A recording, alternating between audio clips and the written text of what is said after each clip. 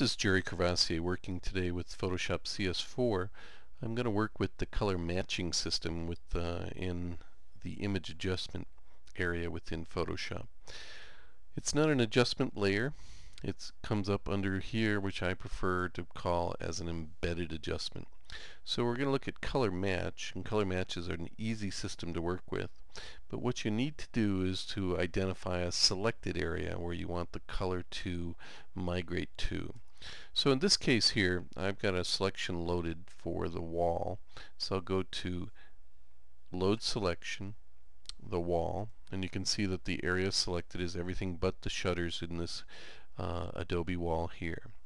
And what I'd like to do is go over to this image here called Italy 1 and I have a selection active here and what I'd like to do is I'd like to kind of take this color and have this color presented over here so it matches.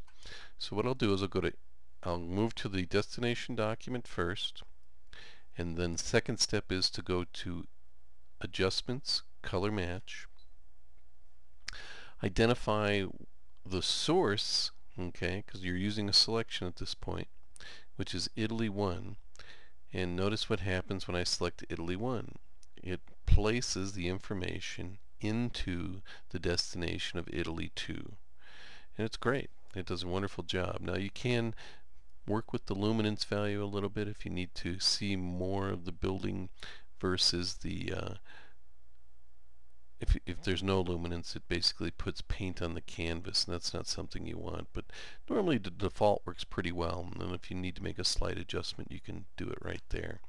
You can play with the intensity and fade as well but the result is a match of the information associated with the selection and over here in our image of the Italy wall does a really nice job of placing that information in that document.